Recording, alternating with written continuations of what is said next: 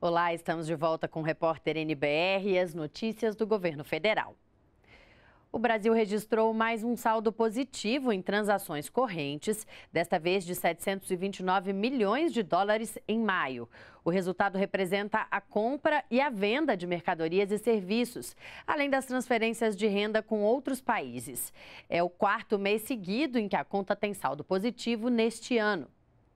E mesmo com o dólar em alta, o gasto de brasileiros no exterior cresceu mais de 1 bilhão e 600 milhões de dólares, quase 8% a mais que no mesmo período do ano passado. Termina no dia 30 de junho o prazo para o alistamento militar. Vamos ver os detalhes na reportagem de Gabriela Noronha. Aventura, patriotismo e orgulho de fazer carreira em uma das mais antigas instituições militares, o Exército. Esses são alguns dos motivos que fazem Lucas sonhar com o serviço militar. É uma profissão boa e também porque eu gosto, aventura, coisas assim, ação.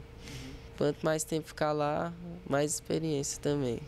Para ajudar jovens como Lucas, o alistamento ao serviço militar obrigatório pode ser feito pela internet. Para se alistar online, é necessário informar apenas o número do CPF. Lucas aprovou a medida. Eu tinha computador em casa, eu voltei para casa, me inscrevi e foi bem prático, bem simples. Só pediram alguns dados pessoais, coisas simples. Aí foi bem prático. Todas as fases do recrutamento agora podem ser acompanhadas virtualmente. O sistema será atualizado pelos órgãos militares, com informações dos jovens dispensados ou incorporados ao serviço militar. O alistamento deve ser feito até o dia 30 de junho. Anualmente, segundo o Ministério da Defesa, mais de 1 milhão e 500 mil jovens se alistam. Desses, aproximadamente 100 mil são incorporados às Forças Armadas. O alistamento online, como explica o Coronel Aquino, faz parte da modernização gradual do serviço militar e ajuda a abranger mais jovens. A seleção é maior, mais cidadãos que nós podemos verificar sua voluntariedade para servir ou não e, e adequarmos aquilo que nós precisamos nas Forças Armadas, ou seja, altura, peso, força, questão de rigidez, tudo isso é verificado e avaliado para que nós tenhamos uma força, uma força como um todo, Exército, Marinha Aeronáutica, com pessoas que vão atender às nossas necessidades. Ou seja, o local mais distante e afastado, a inclusão digital está chegando. Gradualmente, com dificuldade, mas está chegando e exatamente o nosso objetivo, integrar todos os cidadãos dessa faixa etária para que atendam às necessidades cívicas e legais conforme a Constituição Federal. Os estudantes interessados em concorrer a bolsas de estudo em instituições de ensino superior privadas já podem consultar as vagas disponíveis na página do programa Universidade para Todos. As inscrições começam amanhã. Neste segundo processo seletivo do ProUni, são 174 mil vagas em 1.400 instituições de ensino superior. E os estudantes aprovados no sistema de seleção unificada já podem fazer a matrícula na instituição escolhida. O prazo vai até 28 de junho.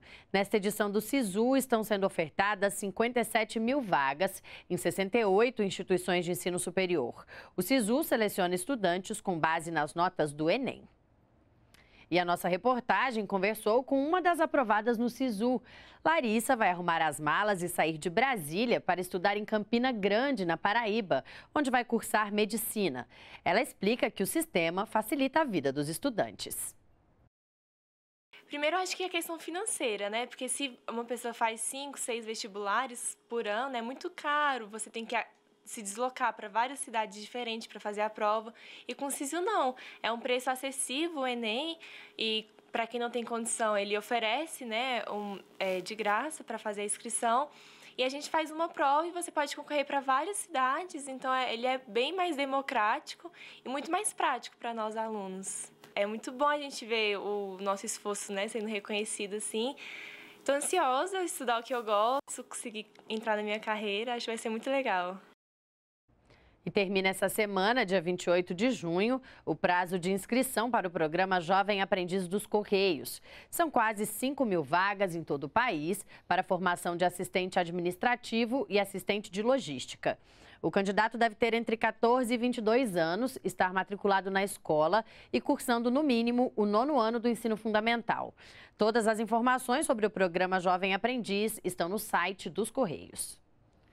Nós ficamos por aqui. Você pode rever as reportagens no YouTube. E toda a nossa programação também está na página da NBR na internet. Uma boa tarde para você e continue com a gente aqui na NBR, a TV do Governo Federal.